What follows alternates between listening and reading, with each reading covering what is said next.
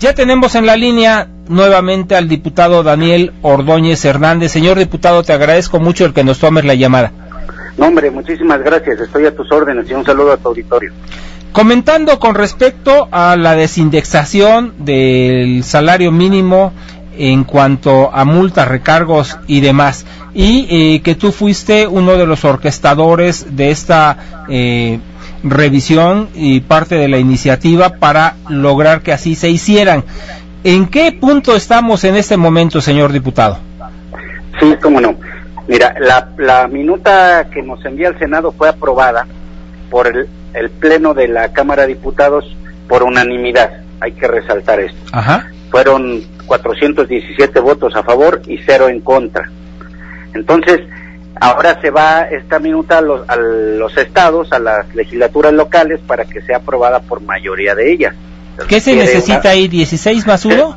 Así es, se requiere más de la, mitad más uno de los congresos locales, porque es una reforma a nuestra constitución política. Para que a partir de ello ya eh, pase a ser texto constitucional. Es correcto, es correcta tu, tu, afirmación. A partir de que se apruebe, regresa y, se publica y, surte sus efectos inmediatamente. Ahorita estamos en ese proceso parlamentario, en el proceso de que los congresos locales estén eh, votando esta, esta reforma que aprobamos en la Cámara de Diputados y espero y hemos venido pidiéndoles que lo hagan a la brevedad posible. Sabemos de la carga de trabajo y sabemos que en las entidades están ahora discutiendo el presupuesto. Y máxime que el año prácticamente parlamentario se acaba en 15 días más, ¿no? es correcto.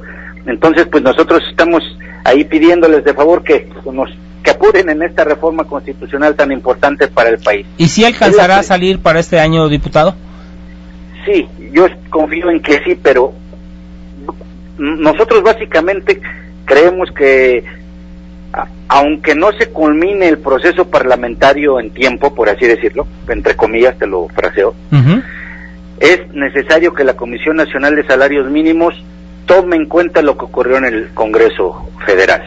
Tome en cuenta lo que los diputados decidimos por unanimidad, la necesidad urgente y prioritaria de voltear a ver al salario mínimo e empezar a implementar políticas públicas que permitan su recuperación.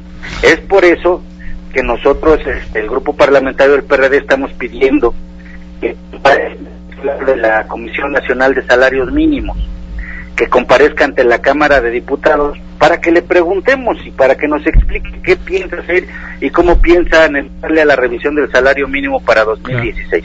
Esa Comisión Nacional de Salario Mínimo eh, sí podría ser una exhortada o la otra citada a comparecer? Sí, por supuesto.